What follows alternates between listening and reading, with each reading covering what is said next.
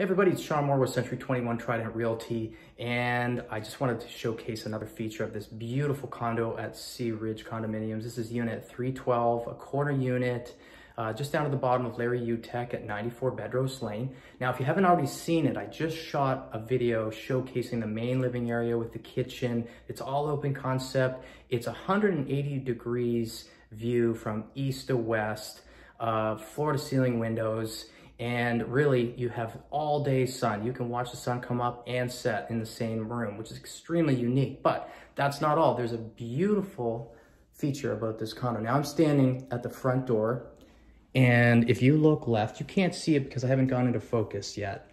But we're gonna walk into the second bedroom, which is really large.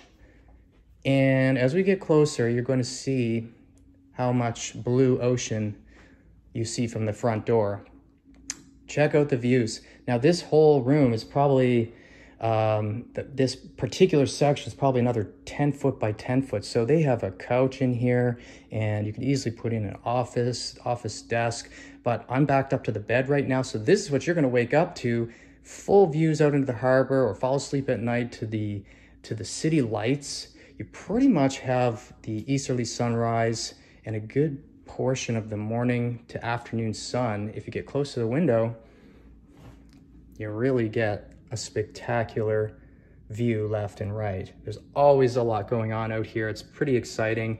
And I think if you come and check out this condo, you'll be equally as excited about the opportunity that this presents. It's in such a great area. Come check it out. It won't last long.